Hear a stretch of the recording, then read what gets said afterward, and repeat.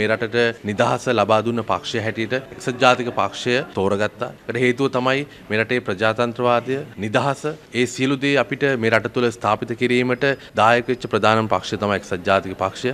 ස්වාධීනව කතා කරන්න පුළුවන්, ස්වාධීනව අදහස් ප්‍රකාශ කරන්න පුළුවන් මේ ලැබුණු අවස්ථාවන් එක්ක ඉදිරියේදී මේ රටට කරන්න පුළුවන් උපරිම සේවය කළා මේ රටේ තරුණ පරම්පරාවට අනාගතයේදී තාමත් හොඳ පරිසරයක් මේ රට තුර නිර්මාණය කිරීමට අවශ්‍ය සියලු කටයුතු වෙනුවෙන් ඉදිරියේදී කොන්දේසි විරහිතව පිළිබඳව පෙනී සිටිනවා.